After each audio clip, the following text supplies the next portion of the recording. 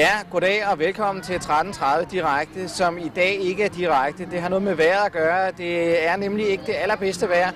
Og i dag der er vi, som man kan se, der er vi nede på Bredkagård, hvor der er børnefestival. Og øh, på grund af vejret er vi altså nødt til at lave det lidt på forhånd, men øh, det skulle være det samme, der kommer. Vi er altså taget ned til børnefestivalen, og øh, der er masser af aktiviteter for børn, som man kan se, og øh, det er det, vi skal rundt og kigge på. Allerførst så skal vi lige snakke med Susi, som jo øh, er den store ophavsmand til det her, kan man sige. Er det ikke rigtigt? Er i hvert fald øh, koordinator og festoriginal, kan man sige. Ikke? Bare se på hatten. Har du set noget lignende? Nej, det er, det er meget. Hvad er, er det sådan et øh, eksotisk tema i år, det kan jeg se? Jamen, jeg har haft et stort problem i år, at jeg ikke har kunnet lukke for vandhanen. Det er simpelthen blevet ved med at regne, så øh, ja. Ja, det, det er jo, hvad der kan ske, det her med vejret, ikke? Ja, det er det. Det har været lidt vådt i år, men vi hygger os alligevel. Ja, og hvordan tager folk det? Jeg synes faktisk, det går rigtig godt. Altså, i går, øh, der var det sådan, at de små kommer jo først herop. Øh, de integrerede institutioner, børnehaverne. Og øh, jamen, de må tage lidt tidligere hjem, for det var koldt. Men heldigvis så klarede det jo op, og solen skinnede. Og så kommer alle klubbørn om eftermiddagen. Så der har været de her 1.500 børn. Og øh, vi, kan, vi kan jo se øh, aktiviteterne, der foregår, øh, at der, der er jo altså masser at lave for børnene hele tiden. Øh, hvad, hvad, hvad, hvad får børn ud af at lave de her ting egentlig?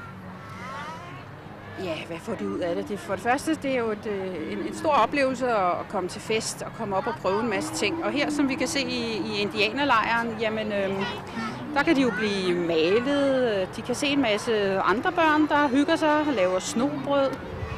Og øhm, det er det hele taget godt at, at være sammen på den her måde. Øh, så har vi jo øh, vores øh, stærkmand, hvor man kan prøve at løfte en øh, utrolig mange kilo. I går var vi faktisk op på 70 kilo, nogle af klubbørnene, så der var tre voksne til at holde hele stativet der. Øh, den næste bod, jamen det er, det er en fiskedam, og den øh, skal bare med hver år, fordi børnene de elsker at fiske en eller anden lille præmie, og det er sådan noget legetøj af en eller anden art. Det er jo, det er jo sådan set, det er ret komprimeret det her, kan man sige, på to dage. Det er, det er jo mange ting. Uh, hvor meget kan børnene nå at prøve det hele? Altså? Det kan de sagtens. Og øh, der er også hestevognskørsel øh, og ponyridning. Og det gode er, at når de så kommer herop på anden dagen, jamen ligesom alle de andre år, så er det sådan, uh, så har vi prøvet det første år, eller første dag, og nogle af dem kan også huske det fra de forrige år, og så ved de, ah, vi skal lige prøve det der igen i dag. Og så bliver de længere, for eksempel i indianerlejen, hvis det var det, de synes, der var bedst. Eller sminketeltet, som er hernede i hjørnet, hvor de kan blive klædt ud og sminket og alt muligt. Nu, øh, der er jo også en anden form for samling, hvor man samler alle institutioner øh, i Ishøj. Betyder det noget? For det må som nok være mest personale i virkeligheden. Det betyder meget, at øh, vi har sådan et fælles arrangement. Fordi det, øh, så lærer vi jo simpelthen at samarbejde, og vi lærer hinanden at kende. Og det er rigtig godt for, for sammenholdet mellem institutionerne her i Ishøj. Er det sådan noget, der, der, der kaster noget af sig, han har sagt, så, så man laver nogle projekter sammen, øh, fordi man kender hinanden herfra?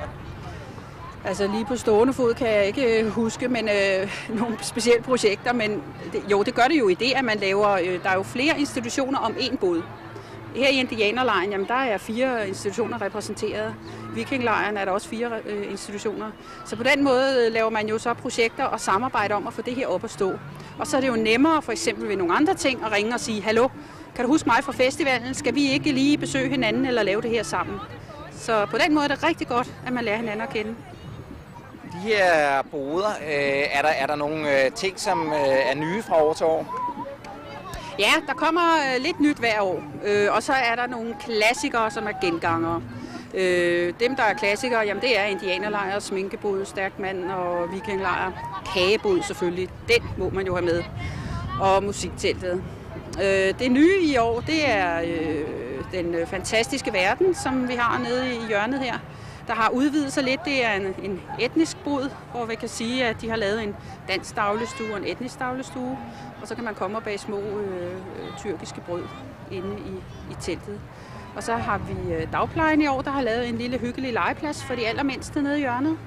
Og det, øh, det er også rigtig godt, så der er noget for de helt små. Desværre kan vi ikke have hoppepuden op lige nu, fordi at det regner for meget. Den, den kan ikke klare vandet simpelthen? Jo, men børnene de bliver fuldstændig gennemblødt, selvom de har regntøj på, for de må ikke have sko på deroppe. Så, øh, okay, den vil også blive glat og farlig og sådan noget? Ja, det vil den også, ikke? så vi er nødt til at vente til vejret ser lidt mere stabilt ud. Okay, er der, er der nogen, der savner den? meget mange, det er der. I går det første, de store børn, de kom løbende hernede. Hvor er oppepuden fra alle klubberne der? Og så heldigvis klarede det op, så vi kunne få den op. Så det satser vi på igen i dag. En anden af de faste ting, som vi kan se derovre, det er telte, hvor man kan sove om natten. Øh, hvordan er det gået med det i år? Jamen, øh, det var jo... Øh, ja, det gik på den måde, at vi skulle slå teltene op. Der havde gården ikke lige fået fjernet hestene, så de startede med at tage en bid af to telte. Så må vi jo så lige lappe. Øh, men øh, ellers så er det faktisk gået udmærket, øh, fordi det klarede op i, i går eftermiddags, og det, det var godt vejr hele aftenen. Men der er nogen, der har valgt at øh, sove i, i deres institution i stedet for, fordi at madrasser og soveposer var blevet sjaskvåde i løbet af dagen. Hvad med børnene? For de hjemme ved øh, at sove her? Altså, det har jeg ikke hørt om nogen, der gør øh, på en overnatning. Det har jeg ikke. Det kan de godt klare, selvom det er også er lidt koldt og vådt og sådan noget? Ja, altså det er jo de samme institutioner, som overnatter år efter år, så det må være en succes. Og de hygger sig, og de har hoppepuden hele aften for dem selv, ikke? Så det er helt sikkert, de får ind på opleveren, men de er trætte, når de kommer hjem. Det er vi andre også. Hey, du mener? Vi er gået ind i sminketelt, og her vrimler det med børn, der venter på at blive sminket i alle regnbuens farver og alle mulige figurer. Vi står og kigger lidt på.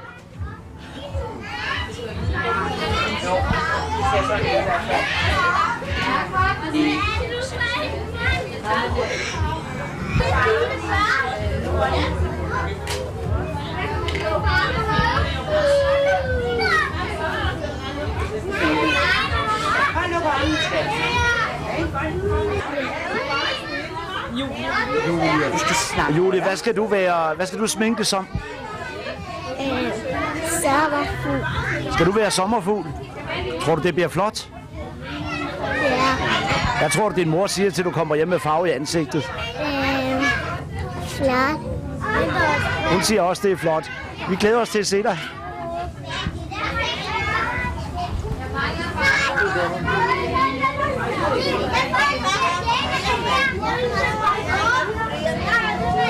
Hvad hedder du?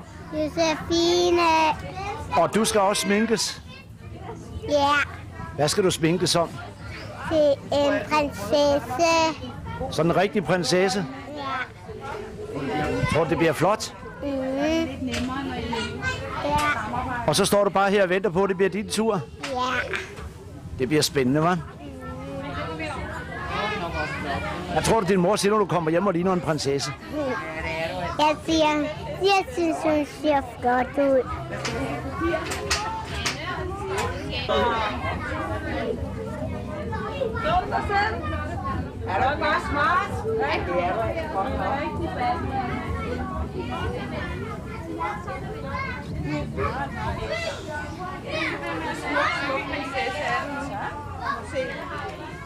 Wow. Karina, du er en af dem, der sminker børnene her. Hvor mange børn har du sminket her indtil nu? Øh, her i dag, der har jeg sminket tre. Og hvor mange regner du med at nå sådan på en dag?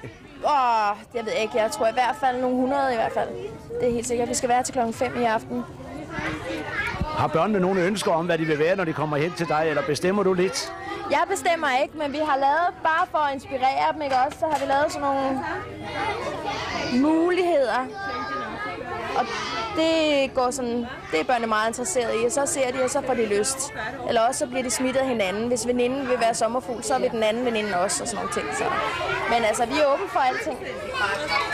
Hvad er det egentlig, der gør hos børnene, at de godt vil, øh, vil sminkes og, og, og, og ligne noget andet? Det er svært at sige. Jeg tror, det er spændende at få lov at være en anden for en dag. Ikke? Og børn, især piger, de er jo vilde med make-up og morsmykker. Og make, altså, det er jo dejligt, når man er pige. Ikke? Det kan jo aldrig blive for tidligt, tror jeg. Du skal videre, hvis du skal nå nogle, et 100 stykker i dag. God arbejdsløst. Tak skal du have. Du skal lige...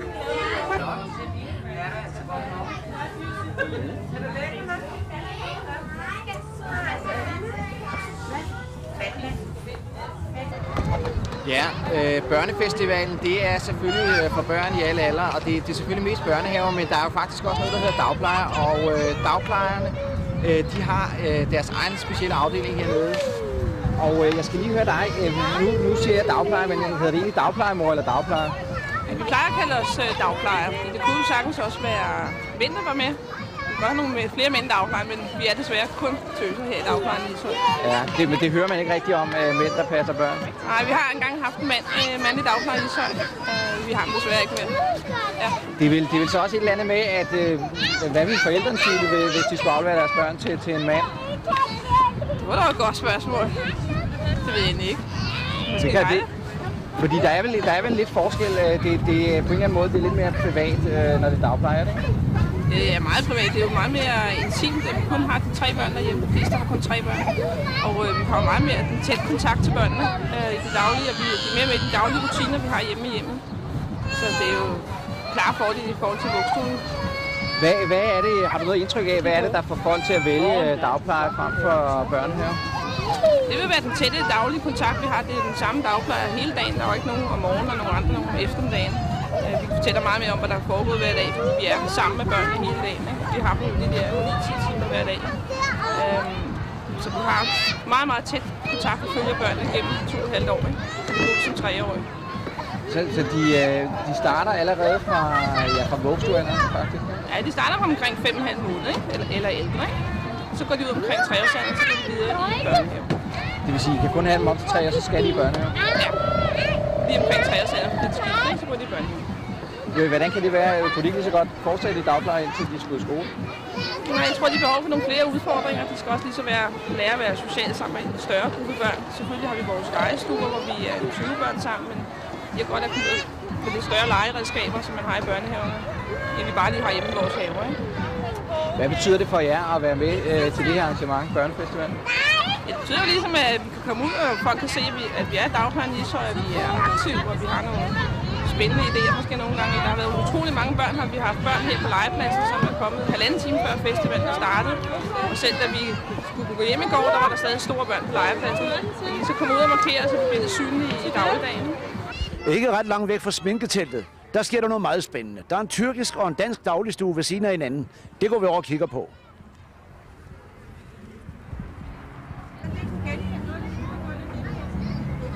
Det er jo det. Det er jo det, jeg går ind i.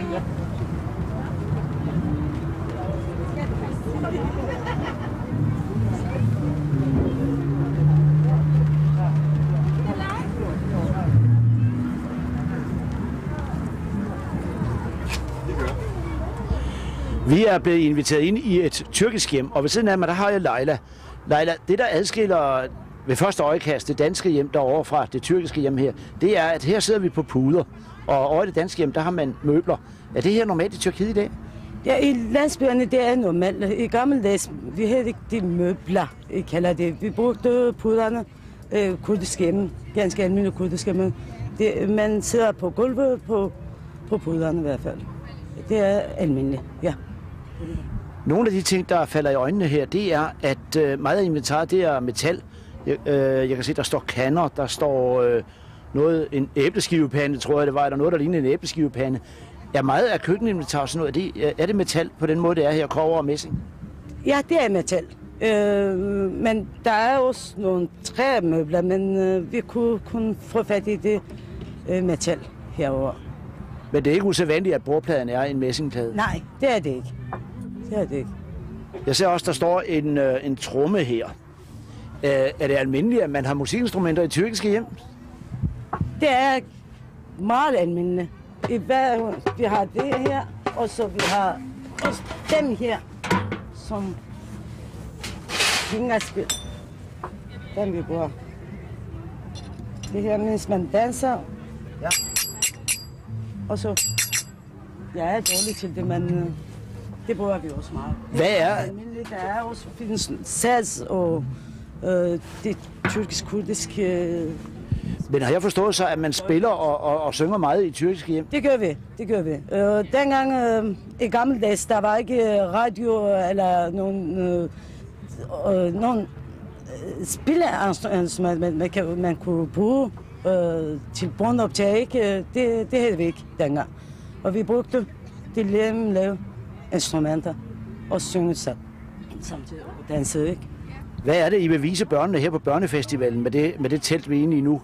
Jamen, øh, vi vil gerne vise, øh, at øh, der er også for de tyrkiske børn, øh, det er meget stolte over at se nogle øh, ting, som stammer hjemmefra. Og det får også en øh, form for at forklare, vise og forklare til sine danske øh, kammerater øh, og snakke lidt øh, og udveksle nogle erfaringer. Øh, det har været stor interesse i hvert fald. Øh, det var meget begrænset at vise deres hjemland. Øh, for de danske børn øh, synes jeg, der er en pen som den her i hvert fald, at det, får, det kan godt få nogle ting, som, som måske der har hørt fra til det gamle danske hjem. Øh, alligevel, øh, det er ikke, vi er ikke så vidt forskellige fra hinanden. Øh, børnene kan se den, øh, efter de har, de har set nogle ting i hvert fald. Du skal have tak for det, vi må kigge ind i dit hjem. Det var så lidt. Tak.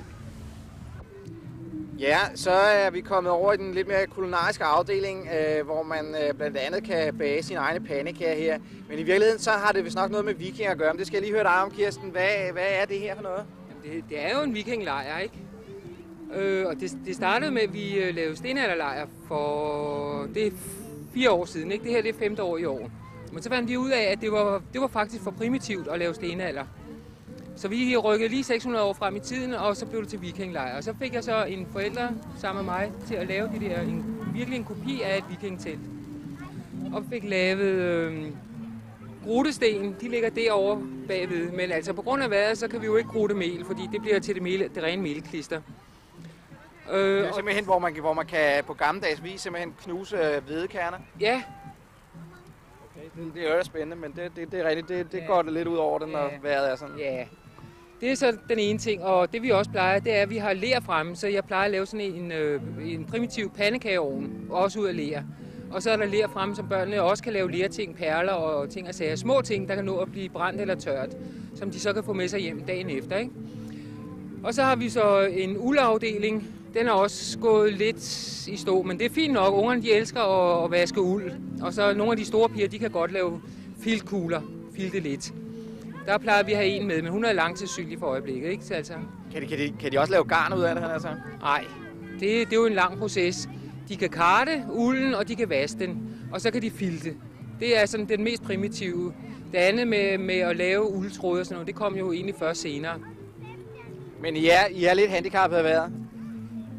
Altså, jeg vil ikke sige, at vi er handicappede, det er bare anderledes, så ikke? Der er jo nogle ting, hvor for meget vand, så splatter det bare fuldstændig ud. Det kan ikke lade sig gøre, vel?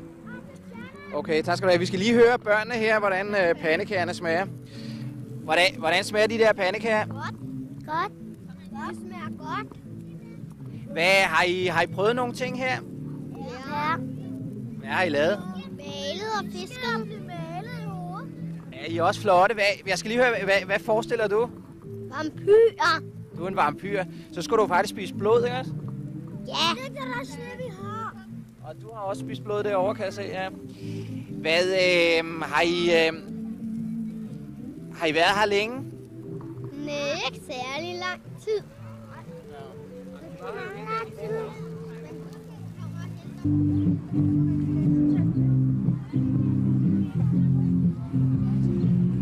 Vi er trukket ind i kagebåden, og øh, her finder vi Therese Sørensen fra Gildbro Alklub. Og øh, hvad er det, der foregår her? Det er kagebåden, står der. Ja, alle institutioner har kommet med noget kage, og det stiller vi op her, og så kommer børnene bare og tager kage. Og det er ikke noget, der koster noget, eller noget som helst. altså det, det er bare, at man bager ikke og har det med, og så spiser børnene bare og hygger Det- sig med det. Det er et bredt udvalg her. Har I i forvejen planlagt, hvad det var, I vil bage, eller har man bare bagt sådan derudad? Ja, folk har bare bagt det, de vil. Og det er jo alligevel forskelligt, ikke? Vi har også lidt tyrkiske specialiteter. Er det så kun de tyrkiske børn, eller prøver de danske børn også de specialiteter? Øh, jeg har, der er nogle danske børn, der har prøvet dem, og de kan godt lide det. Uh, når man kigger ud over her, det er ikke det alt sammen, der ser lige fedtfattigt ud. Ligger der noget økologisk, er der noget ernæringsmæssigt fornuftigt i det her? Nej, overhovedet ikke. Det er kun hygge. Det er ren fornøjelse. Hvor meget regner med at afsætte sådan en dag? Det er meget, men jeg ved ikke, hvor meget det er. Men øh, I kan se, at vi har et lager derovre, så vi bliver ved at tage frem. Så bordet hele tiden er fyldt. Og det er det bare hele dagen.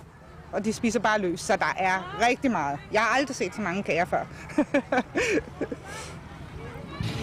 Ja, så er vi øh, kommet over til sæbeboble boden, tror jeg, der hedder. Jeg skal lige høre, om man kan blæse sæbebobler i regnvejr. Det er jo ikke sikkert, det kan lade sig gøre. Sig mig en gang, kan det godt lade sig gøre at lave sæbebobler, når det regner? Det ser ud til at gå meget godt. Okay, Det må man sige. okay. Kan, kan du finde ud af at lave en sæbeboble? Okay glas her. Lad os lige se, om der er nogen, der kan lave en rigtig flot sæbeboble her. Pas lige på. Ja, ja. Fordi... Man skal have ordentligt ned i det grønne vand, ellers hjælper det ikke noget. Troen dengang død, Og så kom den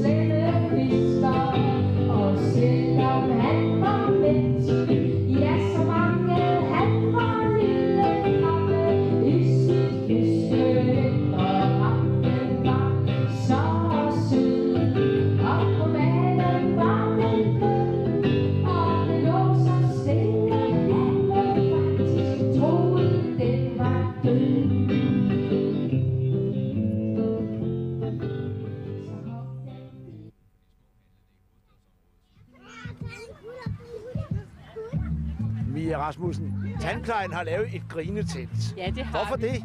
Det har vi, fordi at det er så livsbekræftende at grine. Vi har alle sammen rigtig godt af at grine og vise vores smukke smil frem. Virker det på børnene, det her? Ja, det synes vi, det gør. Vi har jo så prøvet at lave nogle ting, som de kan øh, genkende øh, i føleposerne. Det er noget, øh, som er rart at røre ved, og noget, som måske de synes er lidt klamt. Og det giver, kan give nogle sjove grin. Øh, vi har også nogle spejle derinde, og vi kender alle sammen øh, den der besøget i Tivoli, hvor vi går ind i spejlsalen og ser os selv som tykke og tynde. Så vi har indtrykket af, at, øh, at børnene synes, det er rigtig sjovt. Og samtidig så viser I jer på en måde, som, øh, som børnene normalt ikke opfatter. Altså lidt sjovt, ikke? Jo, det er jo det. Øhm, og børnene de får lov til at, at opleve sig selv på en anden måde. Øhm, netop det der med at få lov til at more sig og grine, kan vi ikke få nok af. Og det virker. Det synes jeg helt bestemt, ja. Anthony, du har lige været meget stærk og hæve klodsen op. Er du en stærk mand i børnehaven? Ja, Hvor stærk er du? det ved jeg ikke. Har du prøvet nogle af de andre ting med at løfte på hernede? Var du også god til det? Hvad har du ellers prøvet hernede på børnefestivalen? Øh, lave øh, bage og øh, alle mulige andre ting. Er det sjovt? Hvad skal I så lave i eftermiddag? Det ved jeg ikke. Det ved du ikke. Er det den tungeste? Er det en sjov dag hernede så? Ja. Det er godt. Ja, som man kan høre, så bliver der råbt farvel. Det er en længere tur, vi skal på. Vi skal hele vejen rundt om børnefestivalen med hestevogn her. Og øh, hvem er det, der er ude at køre her, skal jeg lige høre? Det er lærken, ikke også? Okay, går I i børnehave alle sammen? Ja. Okay. Hvad, hvad er det, I spiser? Oh, det ser lækkert ud. Har I, har I prøvet nogle ting her ellers? Hvad har I prøvet? Okay. Det er meget sjovt med sådan nogle heste. Har I prøvet at ride før? Og være ude med heste? Ja. Ja. Hvornår har I prøvet det? Jeg får øh, Hvad, hvad med hesten? Tror I også, de spiser kage? Hvad, hvad skal de her spise? Græs. Har I så plukket noget græs til dem? Nej. Skulle I ikke gøre det? Nej, det vil vi ikke. Det vi... Nå. Hvad så? Men de kan selv have noget græs, fordi det er godt køre på græsset. Når de kører rundt på det, så kan de bare tage noget? Ja. Okay. Hvad så? øh, Skal I så have, fro- skal I have frokost bagefter? Ja. Ja, vi skal have kylling og frikadeller og brød og gulerødder og gurker. Yeah. Kan I godt spise, når I nu har spist kage, kan I så godt spise øh, frokost bagefter? spiser bare en hel masse. Mm. Okay. Yes. Ja, det kan være, vi skal have en sang. Hvad kan vi for en sang? Okay. Hvad skal vi synge for en sang? Kender I en sang? Ja. Hvad for en kender I? Æderkopspil. Æderkoppespind. Hvad er det for en? Kan, kan du synge den? Nå, den kan vi godt. Du kan synge den helt alene, hva'? Skal vi synge den sammen?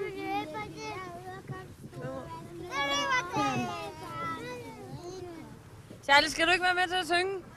Så skal man gøre sådan her med fingrene til det her, der, der jeg gik i børnehave. Sådan her, ikke? Kan man ikke sådan? Lille Peter æderkop kravlede op ad muren. Så kom regnen og skyllede Peter ned. Så kom Skækker. I var der frække, altså. Kravlede op igen. Det passer i hvert fald meget godt til i dag, men det med regn. Ja. Er altså en, en god sang, det her.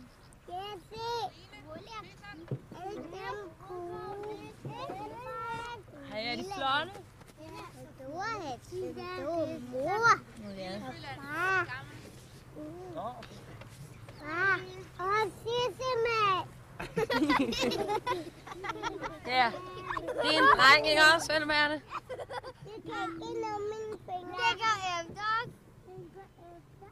Det er fordi, vi er så smukke. Er det ikke det derfor?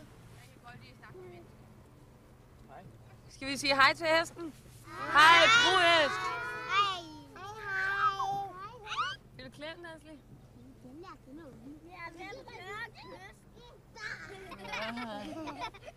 Så kunne det være, det blev til en prins. Den gider ikke. Hvem så? Hvem